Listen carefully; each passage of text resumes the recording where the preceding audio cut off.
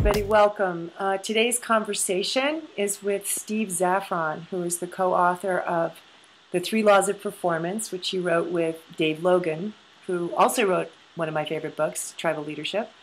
And um, he's the CEO of the Vanto Group, which is a formidable consulting group that implements large scale change initiatives and transforms people's performance um, profoundly. And they work on every continent. Um, so today, uh, my intention is that in this conversation, uh, that together uh, it really has the power to to open up and shift your relationship to the future. Steve and I met. We were just saying in 1974. So you were just a, ch- a tiny child. I was. I was very young. we both were, um, but we met. Uh, yeah, in '74 when I was in charge of enrollment for uh, EST, which has um, now become the landmark uh, education. And we both worked for Werner Erhard, who was one of the most important philosophical thinkers of the 20th century, um, and whose work has touched tens of millions of people around the world and, and impacted ideas and, and ideas and things that, that most people don't even know that it actually came from the work that, that he did and that we did um, in the in the beginning, especially. Uh, so what I'd like to do is introduce that, that today the topic um, has to do with how do you access the future? You know, how do you, where do you stand in a way that can really transform the possibility of leadership, of life, of the kind of results that you can um, have personally and also on a global scale. You know, Steve, I have, I have a lot of respect for you know, works with organizations that have 30,000 employees, and it's it's like moving a, a city basically. Uh, you know, I live in a small city, so I, I really want to, you know, I'm excited to give everyone who's listening to this now and who'll be listening later uh, an opportunity to really have the the power of what he has to say. So thank you and welcome, Steve. Well, thank you very much, Patricia. It's great to be in this conversation with you. It ties together a lot of loops over the years, doesn't it? It does. It really does. So the first thing is, I want to. Um, I'd love to have you speak about uh, something that that I know is is is lives in the work that you do, which is what is the difference between talking about something and get, giving getting access to it? Okay. we used an analogy. Here's an analogy that we like to use. Okay. So if you go to where a game's being played, whether it's a baseball game or even a, a dance is, is being shown, like a, a theater or play or tennis match. What you do is you walk into the place where it is, the stadium or the theater, right? So it's got a boundaries. And then you look around and what do you see? Basically, you see people. But everybody's not in the same position. So there are some people who are sitting in the stands. They're watching the performance. Then there are people on the field. They're doing the performance. So the conversations people have in the stands, you could call that the observer conversation, or the uh, talking about the game conversation, mm-hmm. is very different than the conversation happening on the field. On the field, there's not a lot of talking, but there's some talking because that's part of the game. So when the quarterback says hike, he intends or she intends for the ball to be moved. Right. And a dancer moves in a certain way, that, int- that intention is for another dancer to move in a certain way. Mm-hmm. So visual cues and communications that are going on all the time. Uh, access, though, is really in the domain of the trainer, the coach, the person who's on the field, whose job it is is to have the team win. Right. So that that person's not in the stands. You know, they don't have idle conversations. Mm-hmm. Having conversations that are intended to have the performers access something you could say access something within themselves. That's some way people talk. Mm-hmm. Or access a new way of seeing the moment. Or access a new understanding of what they need to do and get the motivation to do it.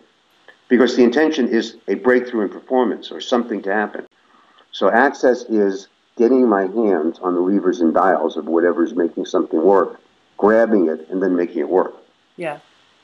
And that's a big, I mean, that distinction alone uh, is worth the conversation because a lot of, a lot, you know, at this point, there's so much information and videos and, you know, people talking about a million things. And to have the distinction of like what kind of conversations actually give you greater access to what they're talking about instead yeah. of that you just understand it or you you're think it's interesting or you have an opinion about it or you know something in that realm. So and i know you know that you're you're you probably don't even know how to speak um, in the stands about anything at this point. You know i mean you're trained you know your way of being and and the way that you work is to give people access. Well i'll, I'll have conversations in the stand when i don't have anything at stake. Yes. and i want to just kind of like spend my time chatting. Yes. but i don't put that down. Yeah. There's um, there is another conversation that's of that ilk, but it's got an intention. It's conversation to understand something. Mm-hmm. So, as I, I, I, was in academics for a while, um, studied philosophy, and a lot of that that kind of work was to understand the nature of this or the nature of that. I think that's important.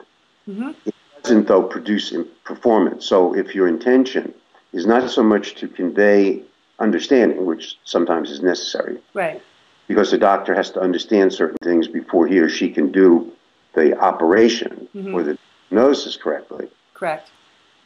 What it takes to diagnose somebody, to look at a situation a person is dealing with and say, okay, this is what it is, mm-hmm. is not understanding. That's something else. What it takes for a manager to look at the last couple of minutes of a baseball game or a football game, uh, uh, or or confront, you know, in a wartime situation, the last few moments of a fight so that you win and not lose. Mm-hmm. It takes to see all that and to do something that makes the difference is what we're talking about here. Yeah, totally. So, how do human beings do that? Our answer is it's all in language.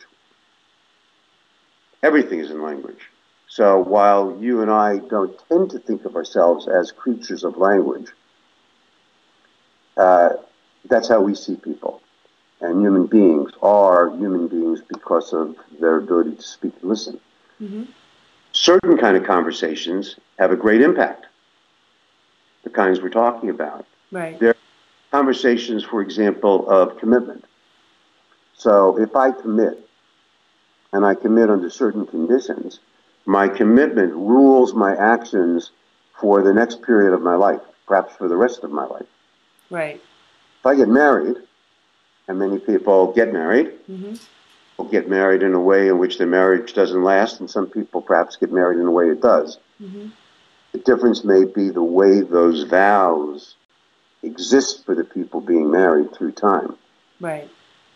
Um, so our access is language, and we call the kinds of language that produces performance access distinctions.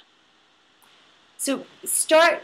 Let me let me take you just slightly back to go forward. Is you know the name of your book is the Three Laws of Performance. So w- performance isn't necessarily something ha- people have the same understanding of. So what do you mean by performance first, and then what are the three laws of performance? Right. So performance, in a very simple way, and I always like to look at things as simply as I can, mm-hmm. is uh, how something turns out that human beings are engaged in. So okay. I'm going to play this game with you. If we're playing the game to win or lose, winning is a performance outcome, losing is a performance outcome. It doesn't always have to be win or lose. It could be we end up having had a great time together. Mm-hmm. We wouldn't think of that as performance, but if you and I were going to go and do something, mm-hmm. uh, and, it, and our intention was to enjoy it, we'd either enjoy it or not. And so, whatever, however we ended up, would be the performance of that endeavor. Okay. So then the question is, well, what is performance? I mean, yeah, that's performance. It's like the outcomes that human beings accomplish or don't in activity. What are the molecules? Let, let, let me just ask you for a second. So is there another, would some people think of that as the result? Yeah, you could think of it as the result of an activity. Okay, so the, the, the culmination of an activity and how it turned out. Yes. Okay. Yeah. And now, there's other ways of looking at it, but that's the simplest way mm-hmm. in this moment, in this uh, set of ideas. So, what what does that? I mean, you know, how does performance turn out this way or that way? Is a function of the series of actions that people take or don't take. Mm-hmm. So you could say, like the molecules of performance or the atoms of performance are actions. Mm-hmm. And we include by action my talking. So my talk is an action. Mhm. Uh, we include uh, in, in action people's listening. So the people who are listening on the radio show, uh, if they're listening, well, they are listening. Right. And continue to listen, they'll either grasp certain things and it'll make a difference for them or they won't. Mm-hmm. Performance outcome out of this hour long conversation will be what they see and what they can do with it, or Mhm. perhaps they didn't see anything and don't do anything with it, right? Right. So we see speaking and listening as action, and then there's obviously what I physically do, my moving this and that. Okay, then if performance is a series of actions, and elevating performance is somehow having my actions be more effective, then the question is, how do, how do you do that? Is there some way to do that? I mean, Right. so the first law deals with the with the relationship between action between action and what we say is the trim tab or or fundamental nature of what you can deal with to cause new levels of action. Wait. Say that again. Yeah. Okay. Let me start. Mm-hmm. Let me start a different way. If you ask people, why did you do what you did? Right. Just- well, why did you do that, right? People will come up with all sorts of answers. They'll say, I was sad about something and therefore I did this thing and that was my expression of it, or I was motivated, or, well, I wasn't thinking, or I wanted this to happen, or whatever Mhm. answer they Mostly people think of why they do what they do as a function of what causes they've got, or psychological states they've got, or what they know or they don't know. Or this situation. You know, the way the way they perceive the situation Yeah, that, that to some degree. Yeah, Okay. to some, but but how it's all seen as cause and effect, or psychologically based, Mm-hmm. or somehow knowledge based. In other words, oh, Right. I did I did that because I never learned that, or I did that because I learned that. Mm-hmm. That's how we think. Right. The first law of performance says comes from a different place. It doesn't say there's anything wrong with all that. Right. It says there's another way of looking at life, and if you look at life this way, which we call the new paradigm of performance, you will have breakthroughs that you didn't have looking at it the other way. So it's just a matter of what works, not what's true for us. Right. I love that. Yeah. So the, the first law of performance is actions are correlated, and I will come back to that word, correlated, to the way in which people experience a situation, or more rigorously, the way in which a situation occurs to people. Okay, so there's 3 Mhm. notions action, correlation, and occurs. Right. So we're saying, remember, this is a different way of looking at it. And it's kind of like you have to suspend everything you know to sort of get it. We're saying that what I do and what I say, or what I don't do and what I don't say, is correlated to the way in which a situation occurs to me. Okay, so by correlated, for right now, let's just say in a dance with.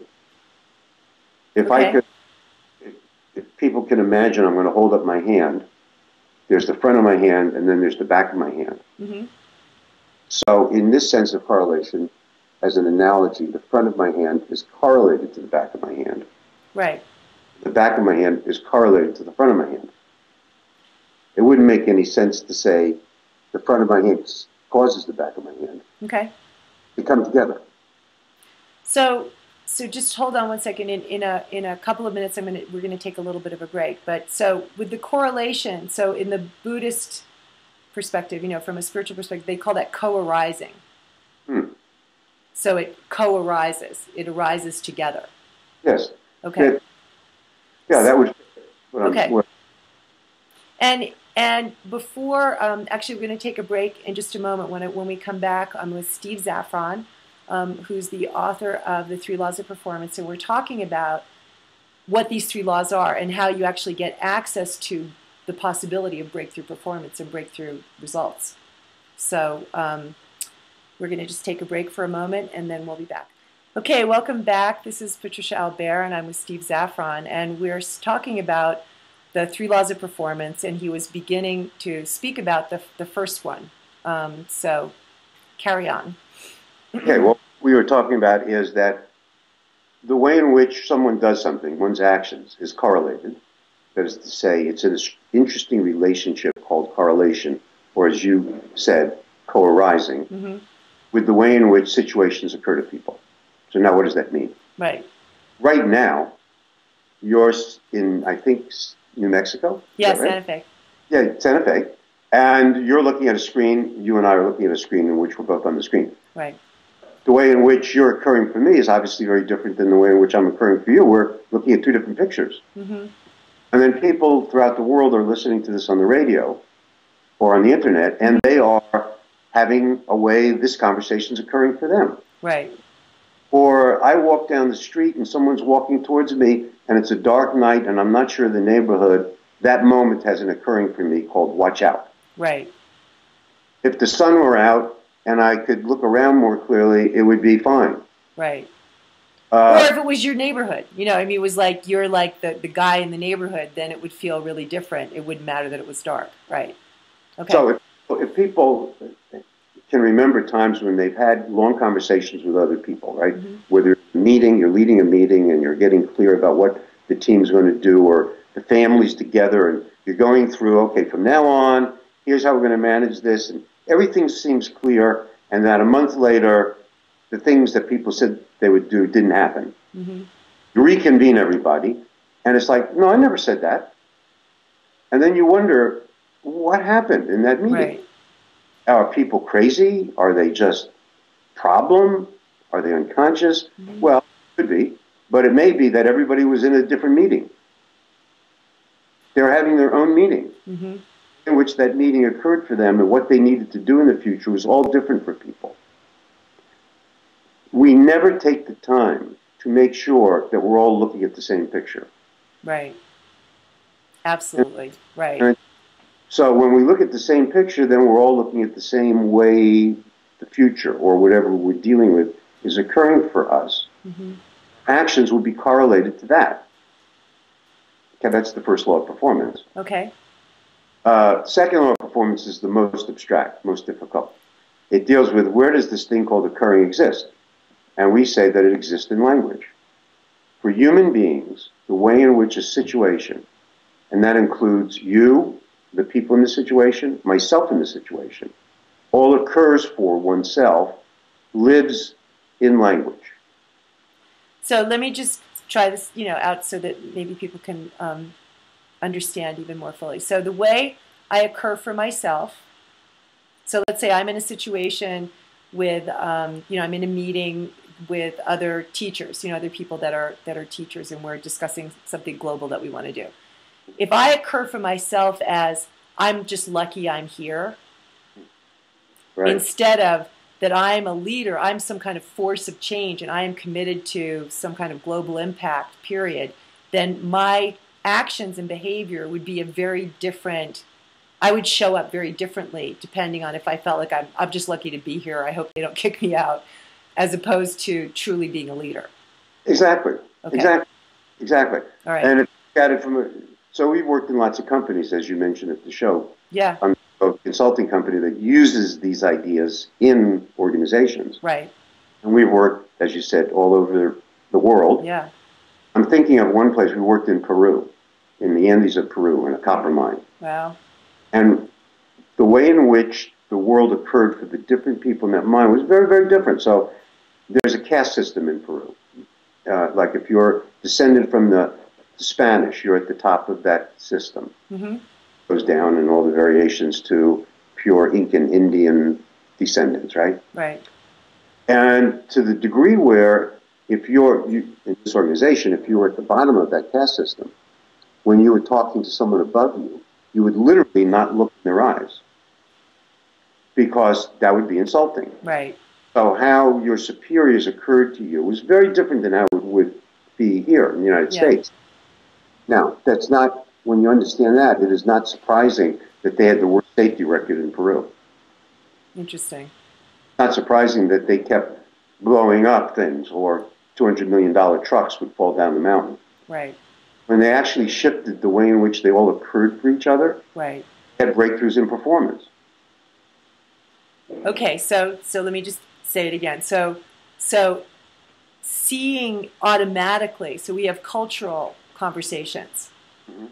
that we're not even aware of, that we're not allowed to think certain ways or take action in certain ways. You know, a long time ago women couldn't weren't allowed to vote. We were, you know, there were certain openings that were not there for us.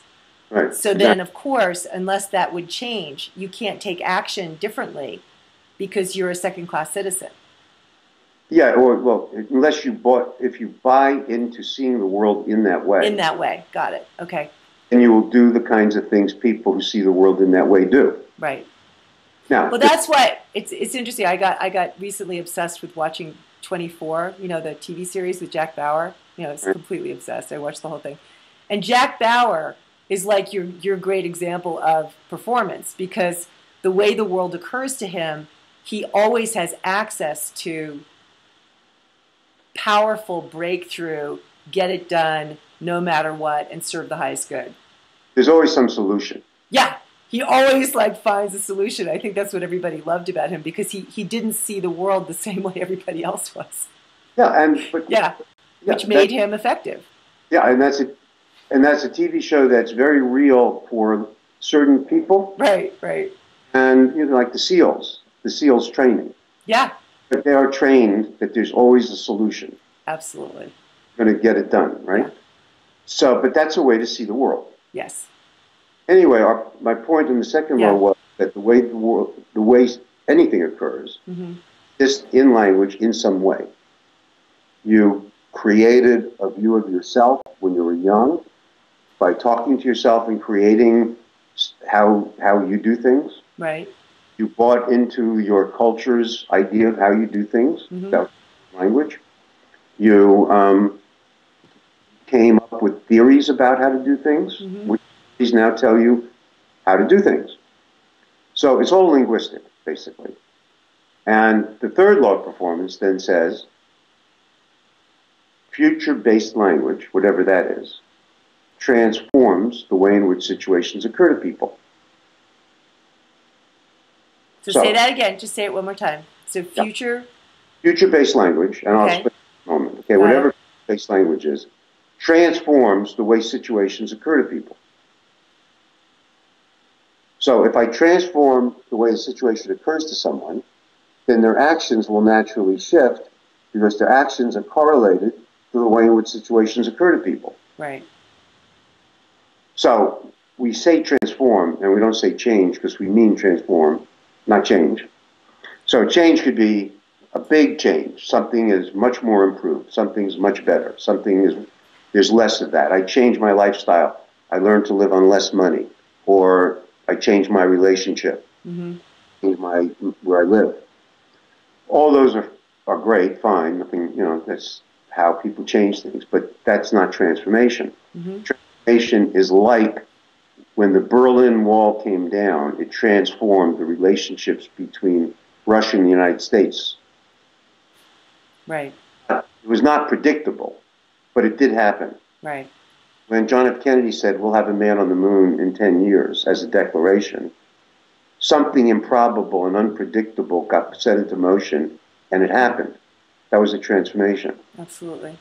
when Mandela began his quest with a number of other people in South Africa to have a South Africa that was integrated, that was a unpredictable transformation. hmm Uh, when certain people, great leaders, have gone through what they've called a crucible experience, when they've confronted that everything they were doing wasn't going to work out, hmm not really, not what they, it wasn't what they really Right. wanted, and they shifted the way they were working in life completely. That was a transformation for them. Yeah. So it does exist, transformation. It's a real phenomenon. Most people have no idea how to make it happen. hmm Saying the way you make transformations happen is by creating new language, future based language, which language comes from the future and creates the future. So that sounds all kind of strange, but it's very simple. Think of a promise. I promise to do something with you, hmm I'm creating a future. That's not a description of what I'm going to do. It's creating the future of what I'm going to do. Right. And if Right. I operate with integrity with regard to what I promise, that promise tends to turn out. hmm The future has a different result in it by virtue of my promise that it would have had if I didn't make the promise. Right. If I make a commitment and I live that commitment, that commitment is a future based statement which shapes and organizes the future to happen. From our own country, the Declaration of Independence Right. was future based language that 52 people wrote, signed their name to, and created a whole new possibility in this part of the world. Now, none of it came easy, so this is not like, uh, oh, this is so easy to do. hmm After they wrote the Declaration of Independence, they had to fight a war. Right. They may have lost the war, in which case the Declaration of Independence would not have turned into this country. So they had to fight a war and win the war, and then they could create the next evolution of it. hmm Um, when I take on something new in my life that I've never done before because I've now confronted the way my life is going is not where I want it to go and I want to shift direction, hmm that is an easy thing to do. Right. makes a difference and it's, I think, worth doing. It's just not easy.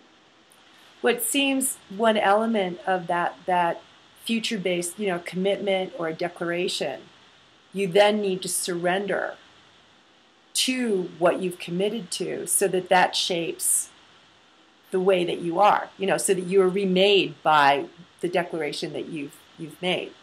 Yeah, that's a very good way to put it. You have to surrender to it. So when it's there and clear for you, you don't need to surrender it to it. But when it's not, you need to surrender to it. Right. You know, that's what you give in. That Yeah. you committed to. Right. So I've seen that kind of ideas implemented in organizations and large, small, very, you know, family-owned businesses, major corporations, and I've seen it do amazing things when people, like you said, surrendered to it, or we would say, operated with integrity with regard to it. hmm became the game to play, whether they felt like it that day or not. Right. Yes. You know, great, great athletes go to their game. It doesn't matter how they feel; they go to the game Mhm. to win, right? Well, can you speak? Absolutely. I mean, all, um, complete commitment, you become it completely. Yes, So there's no separation between you and it anymore if you're completely committed. yes, absolutely. Yeah. You know, you become it. Um, Yeah. So speak a little bit about I, one of the things that I think is really um, illuminate, illuminative. I don't know if that's the right word, but um, has to do with what's the, what's the difference between a default future Mhm. And a created future.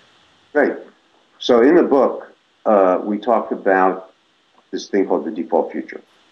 Every moment of now, you and I have some sense of the future. hmm We may not be thinking about it, but it's there always. It's always there. I mean, we are assuming that things, for example, where you where you're living in New Mexico, there's not going to be all of a sudden this major storm that comes in. Right. Rarely. Right. right. Well, that's where it's at for you now. yeah. And I'm here in Miami, and I'm assuming I'm sitting in a building. I'm, I'm assuming a lot of things about the next moment of time, Right. which is the building's not going to fall apart and all this stuff, right? So there's a lot of expectations we have about the future always. hmm We have fears we have, et cetera, et cetera, et cetera. So most of the future lives kind of like that, unconsciously and unawarely. So all that's part of the default future. It's not examined. Let, let me ask you a question too. It's partly not examined, but is there also, do you sense, I'm not, I'm not, I'm asking a real question, is, is there a momentum to the default future? Yes. Well, Spiritually, they would say there's a karmic momentum. You know, there's like a, a movement in a certain direction that if you don't stop it, it's going there. Well, I'd say it's it's more than a movement; it's total. So Okay. some- okay. See, some of it. Let me step back to a totally other place, if that's okay with you. Sure, yeah. A lot of what we've been doing in our research of what these methodologies and ideas is checking it out against important disciplines to make sure it's consistent with other disciplines, mm-hmm. which is brain science. Yes. So it is that we study brain science to figure this out. We work with people and get a sense of what works here and then create the methodologies and then check it against other disciplines to make sure it's consistent. So at the nature, at the level of you and I as creatures of our brain, and we are creatures of our brain, mm-hmm. our brain is always concerned, you could say, about one thing and one thing only.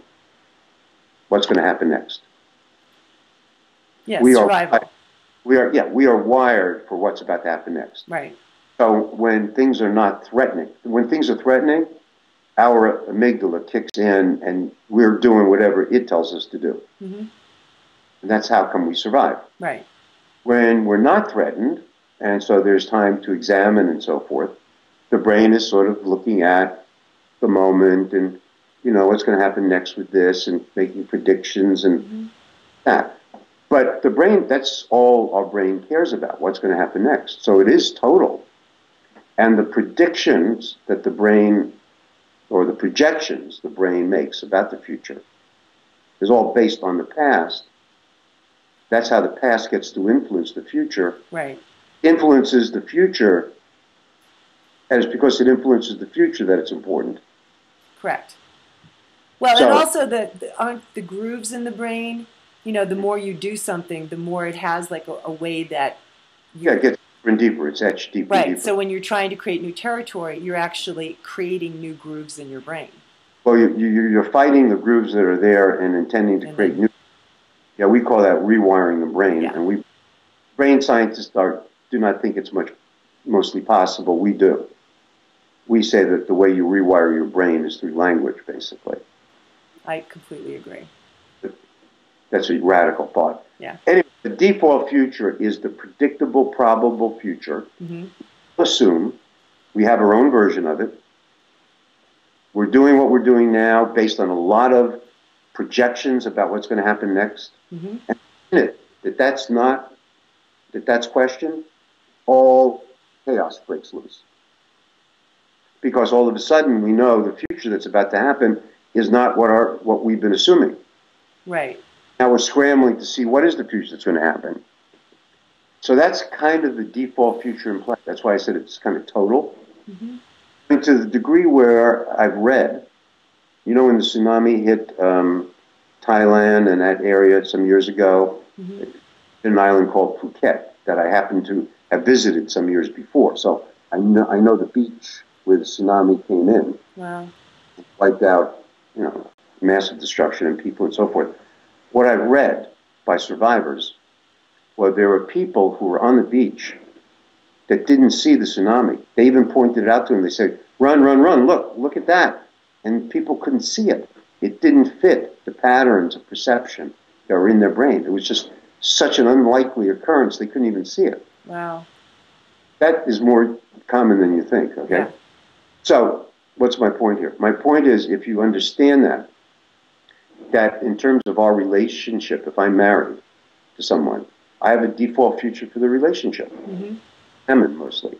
Assumptions. Mm-hmm. If I'm in a company and I'm head of the strategy for the company, I got to confront the default future that the company's got. That's sort of inherited. It's going in this. Everyone says things are fine. We'll go in this direction, or well, things are not fine. We shouldn't go in this direction, or whatever people say.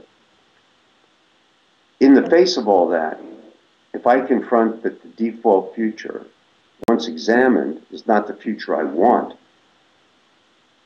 then I'm, you know, I need to intervene. And the intervention is what we call applying future based language to the future that we're living into. Let me say one other thing about the default. Um, um, and I've, I heard Dave talk about it a little bit, your Dave Logan, your writing partner, is most people, if you stop them, they can actually, like in any of those areas you were speaking of, like in their relationship or in the place that they're working or the direction that they're going with their health or whatever, they actually know where it's going. Yes. It's not a mystery. I mean, if you really, they really do know on some level where it's going if they look. And I think Yeah. that could be useful for people to, to think about that. It's very important. Yeah, it's not like while it's below our level of awareness and mostly unconscious, Right. doesn't mean we can't bring it into the level of awareness. Right. And you don't need a psychic. I mean, you know, you actually, if you stop Mhm. and you're not completely in denial, you could find it. Yeah, you can you can get a you can take the flashlight of your consciousness and aim it into the Yeah. unexamined and dark places in Right. your life. Okay. And- It takes some courage. Yeah. I think what you're saying is very, very important, and it takes the courage of, of looking at what's really going on here. Where are we really going? hmm You want to go there. Yeah. And where am I going and who am I in the Right. matter? Yeah. Okay. So then if you you decide because this is an exciting conversation, it's like, well then I don't want to go exactly where I would go just without thinking about it. You know, my particular way of, you know, showing up in life. I I want to I want to create a future. Hmm. So then how do I do that in language? Well, there's some conditions. Remember, nothing, nothing's really. There's no free lunch. I know. Okay. So, what are the conditions of, under which people can create futures that are powerful, that have the that can replace the default future? Yeah. Okay. One condition is the thing we've been pointing at is called integrity. I have to be willing. It's like I give you my word. You and I are going to create something together. hmm And I say to you, all right, we haven't created it together, Patricia, but whatever we do create, if we create something, and I'm obviously here, so I have to agree to it, Right.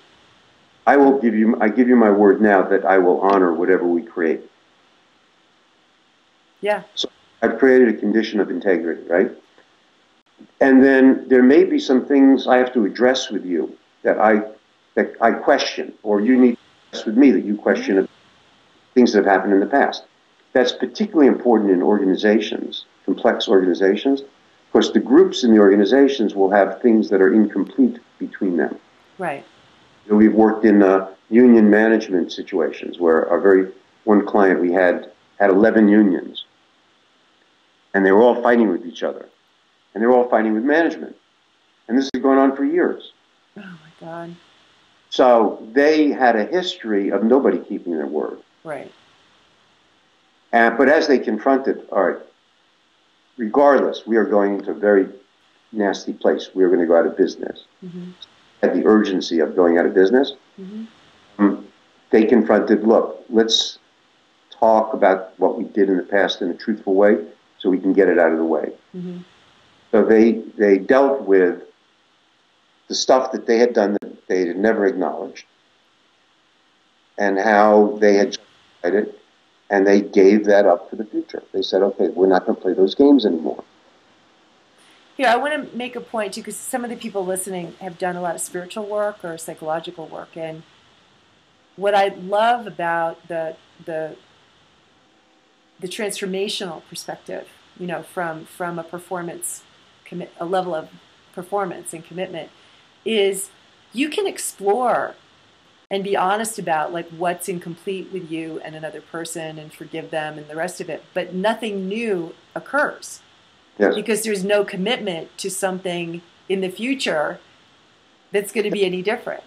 Right. We would call that creating something bigger than yourself. Yes. So I think that's a really important thing to underline and highlight is you need to be about something bigger than just the connection or the relationship or being complete or feeling good. Um, it, you need to have something at stake, right? You need to have something that you're you're going to be your life's going to be about. Yes, it's very well said. Absolutely. Uh, individually, personally, relationships, and organization wide. Mm-hmm. At some level, it would be nice if countries could do that, Yeah. um, and may be forced to do that. So, what motivates people to do this difficult work we're talking about? Well, one is the urgency of the danger of the situation. Mm-hmm.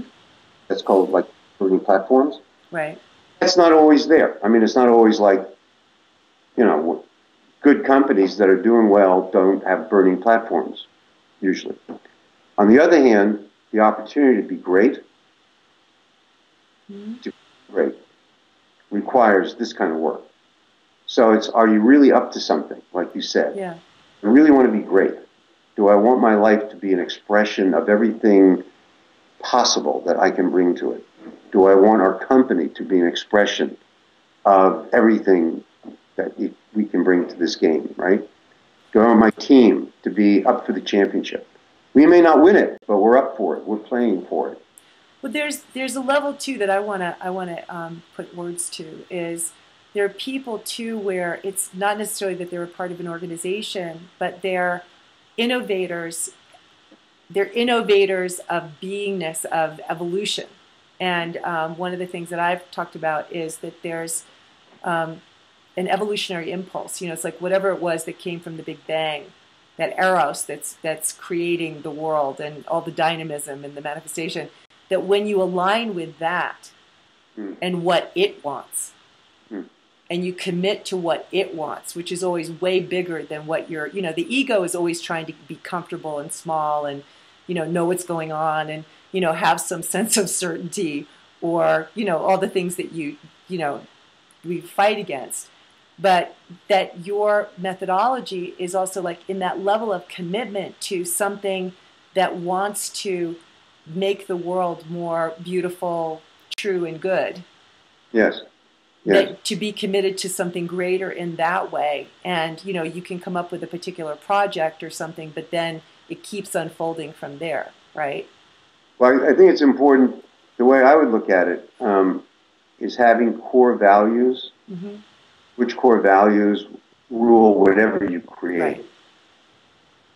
right. So, I think in your sense, you're talking about a core value of the evolution and fulfillment of a direction that you sense we're moving in. Yeah, I mean that that would be my core value is to be on the edge. Just like when we met Werner, you know, so long ago, that work was right on the leading edge. Like when you'd say transformation, people were clueless. I mean, they thought butterflies. I mean, you could you had to explain so much more than what you just had to explain.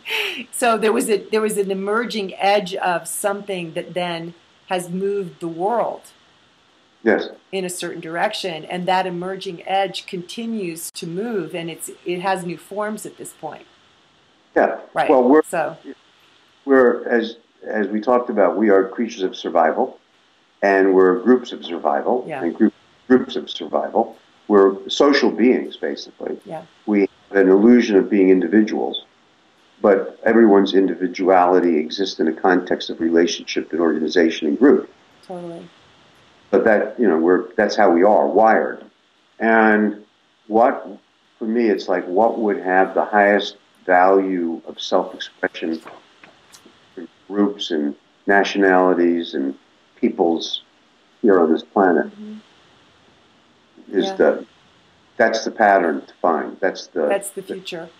To create. Yeah. Do you find um, we don't have a lot of time left, but I, I want to ask you this because I've noticed that things seem like they're speeding up and going faster. Mm. Everything, you know, it seems like you know there's more.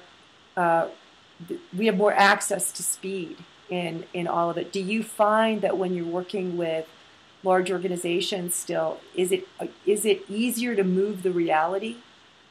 No. It's the I don't, same?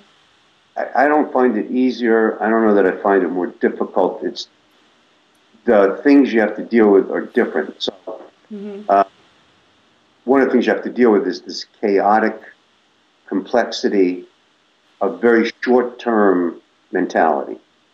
Yes. So, everything is short term. It's fast, but it's short term. Got it. So, you know, one of the great things about this conversation mm-hmm. you and I had. Yes hasn't had to be sound bites. You didn't say, "See, we got ten minutes. Whatever you're going to say, say make it fast." Yeah. But I've done a lot of interviews where that was the request. I mean, that's listening to the show wanted to hear something really just really short, right? Quick, and you know, texts have taken over. The kids text; they don't even email. Email is too long. Way too long. Right.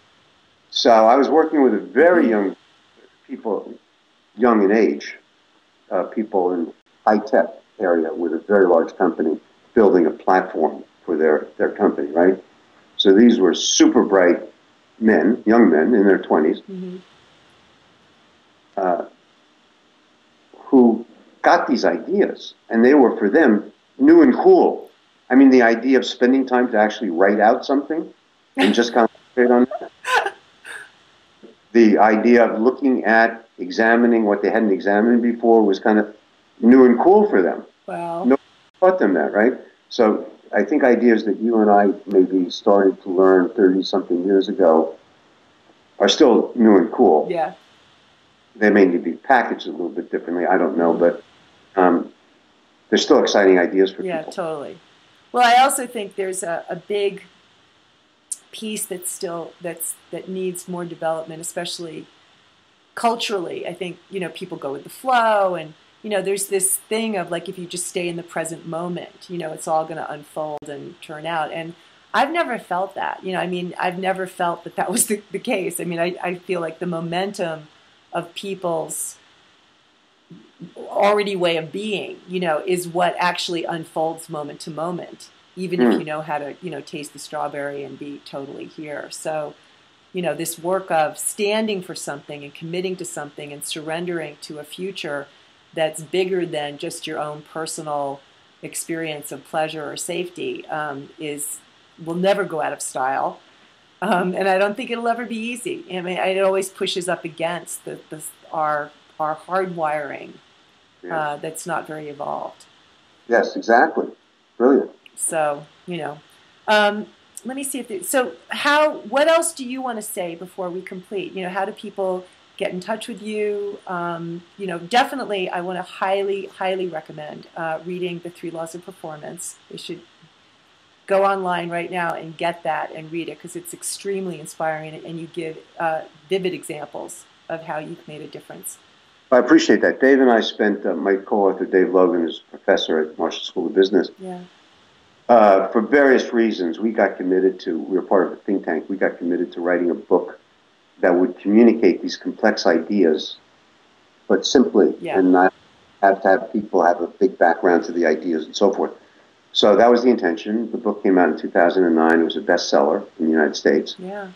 Now in its third printing in the United States, and it's in, been translated into 16 languages. Fantastic. So people can get it here in the U.S. is on Amazon. Well, Amazon actually.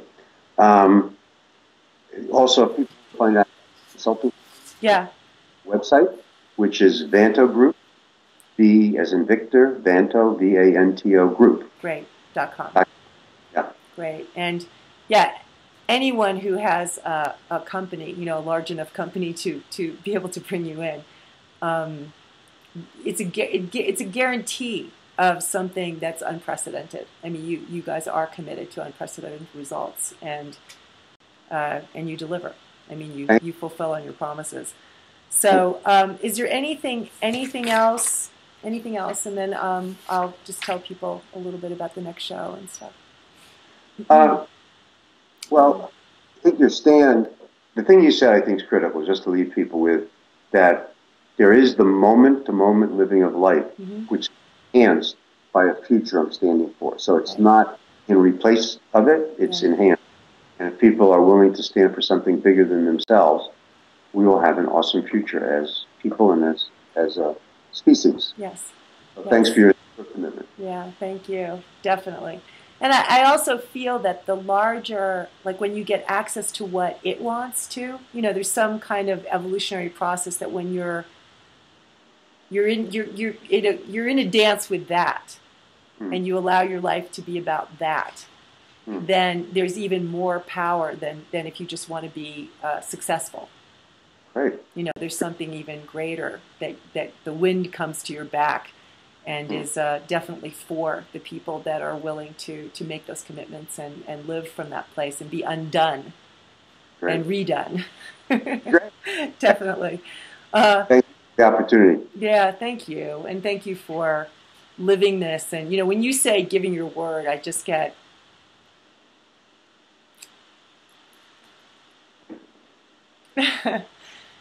it it has such weight you know the level of integrity and the the you know the jack bauer that you are there. I deeply respect and and recognize. So uh, so uh, one thing I wanted to let people know about next week is Jeff Carreira, who is my teaching partner, who I also have that uh, commitment you know, we have a level of commitment to transforming uh, collectives, actually collectives and, and and relationships from an evolutionary standpoint. And he's magnificent. He'll be on the show next week, and we're going to be talking about what the portal is to higher higher states of consciousness. So, and it and it has very much to do with instead of, you know, people counting on their moods or what emotional state they happen to be in. There's actually a portal that has to do with a certain stand, a certain way of being that allows you to move into higher states of consciousness, and without that, you you really don't.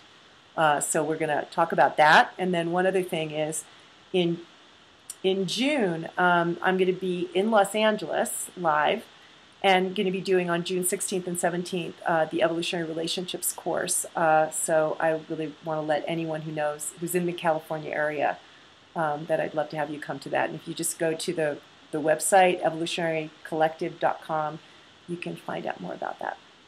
So is there anything else? I think we have one more minute. Well, anything?